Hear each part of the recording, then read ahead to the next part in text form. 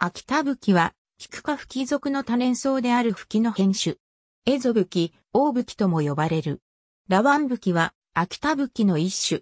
和名の由来は、吹きの変種で、秋田に自生したことから秋田吹きと名付けられた。日本原産で、主に本州北部、北海道、千島、樺太に分布している。葉柄が1メートルから2メートル、葉の直径は1.5メートルとなり、食用とする。秋田県を中心に加工用として約1ヘクタール栽培されている。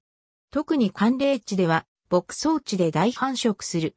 家畜が食べないので畜産農家からは嫌われている。江戸時代、秋田藩主の佐竹義和は、江戸でこの傘の代わりにもなる吹きの自慢をしたところ、他の藩主から信じてもらえなかった。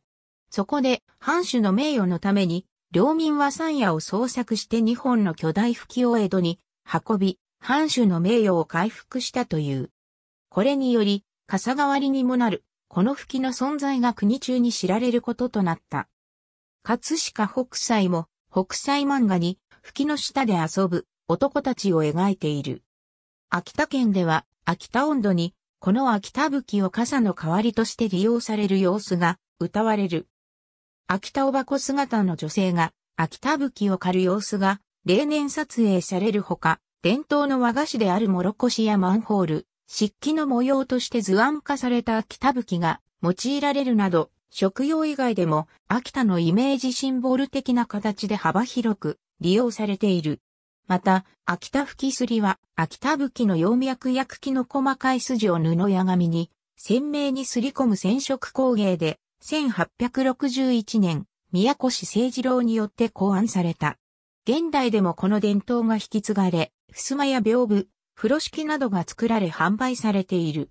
北海道足寄町のラワン川に沿って自生する秋田吹は特に大きく高さ2から3メートル、茎の直径が10センチメートルに達し、ラワン吹きの名で北海道遺産に選定されている。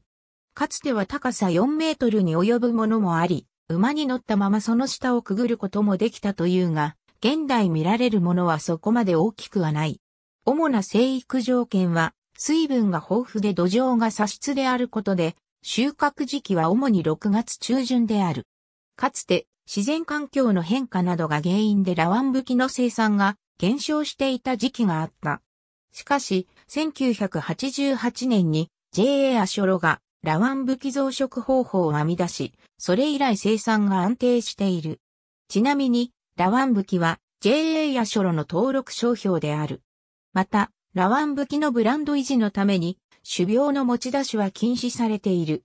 ラワン吹きは食用となる。太く繊維分が多いにもかかわらず、実際は柔らかく、風味豊かな野菜であるため、煮物や炒め物、きんぴら、天ぷら、味噌汁などに用いられる。普通の吹きよりも、カルシウムやマグネシウムなどのミネラルが豊富である。アショロ町では、ラワン吹きを使用した料理、加工物を特産品として町おこしに利用している。